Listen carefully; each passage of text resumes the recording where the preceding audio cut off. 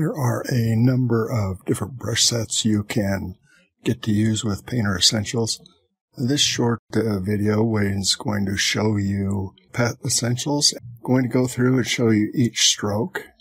You can see the category up here, Perfect Pet Essentials. And this, we're going to start with the top brush here, which is animal skin, and just quickly work our way through these so you can see what each of the brushes do.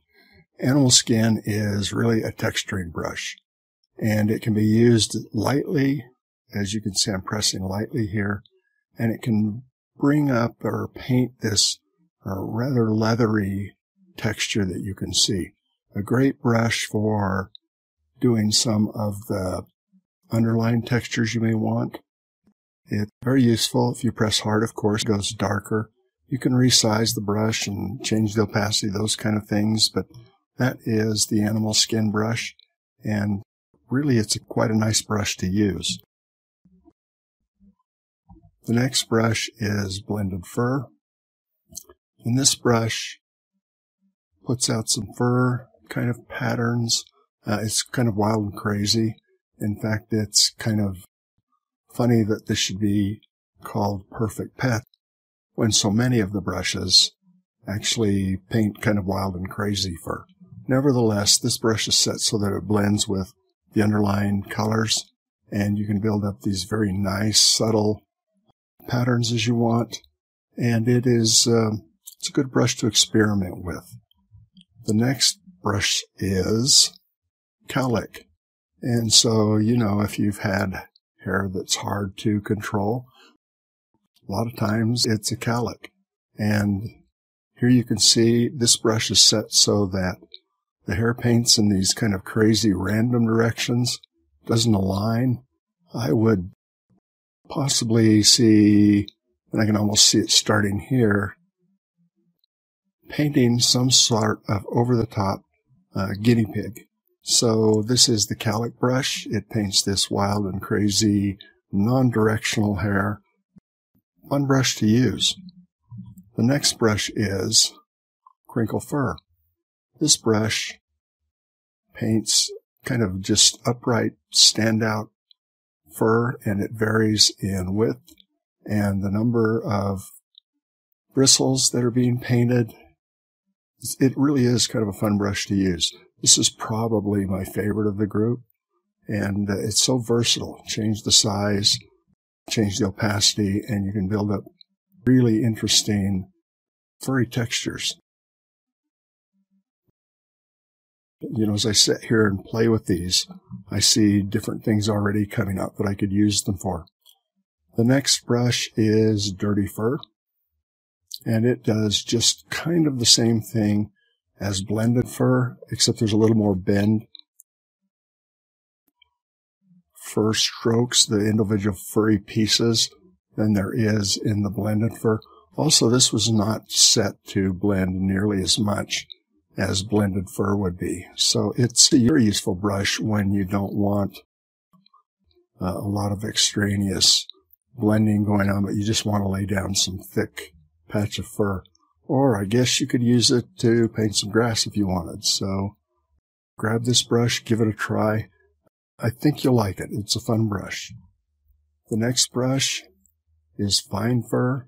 It really does just what it says. It paints really nice little fine bits of fur. These would be great as the finishing touches on any kind of animal you paint. Close-up fur. Somebody that needs to go to the barber. I mean, the uses of these brushes are just unlimited. Only your imagination will keep you from using them in ways that nobody else has thought of before. So this is the fine fur brush. And here's Hedgehog. This is somewhat like the crinkle fur brush, except these kind of spiny hair bits stand up on the top and bottom straight, and then on the sides, they smooth out. Well, it's not really smooth. They're just not as long, and they're a little more random in pattern. So you could paint very easily the back of a hedgehog or a porcupine uh, with this brush. You could paint all sorts of things with this brush. and it will follow the direction of the stylus as you move it around. So that is Hedgehog, a great brush. Try it out, you'll like it. Poodle, kind of what it sounds like. Paint some poodle-like fur. And this brush does blend with the underlying color some. So as you can see, I'm using pure black and it does blend underneath. So if you need little puffy things of fur, this is a good brush to go to. The next brush is Sheepdog. And this is somewhat similar to the cowlick brush, except when the hair goes kind of off in a different direction, it really goes off in a different direction. It's really even more out of control than cowlick is.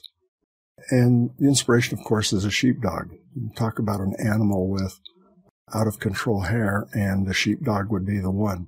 So you can see crazy hairbrush. Once you've painted uh, the things you want in, then use this brush to add some craziness to it. And of course, you can use, you can layer colors, you can use different colors, whatever you want to do with it. So that is the sheepdog brush. And the last one is trimmed fur. And this brush is meant to be kind of like you've taken your dog to the groomer and now they've got all this mangy fur and these cowlicks and all the crinkle fur and all these kind of things trimmed down into nice, even fur. So this would be kind of a finishing brush if you wanted. If you paint fast, you get a little more gap between the stroke.